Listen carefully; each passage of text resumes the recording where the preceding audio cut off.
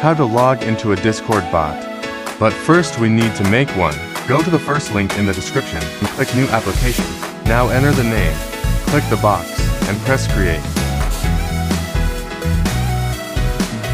Now go to the bot tab. And go down and click reset token.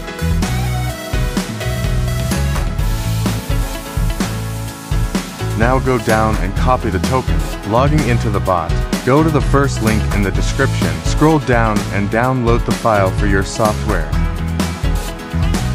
When it's finished opening, then extract it.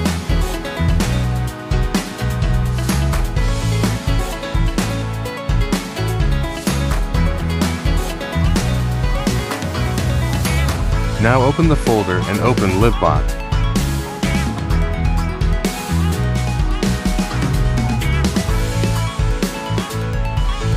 If you see this click more info, then click run anyway. It's not a virus, it's just too expensive for the devs to verify the app. Anyway open it. Now enter the token we copied earlier.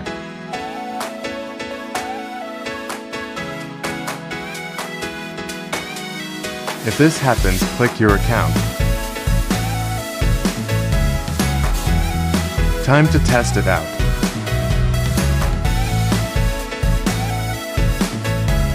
If the bot has no servers here is how to add it to one.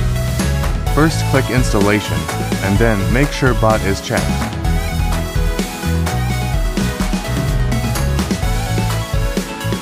Then choose the permissions you want I'm choosing admin. Then copy the link and go on it. Then go to your Discord app and choose a server.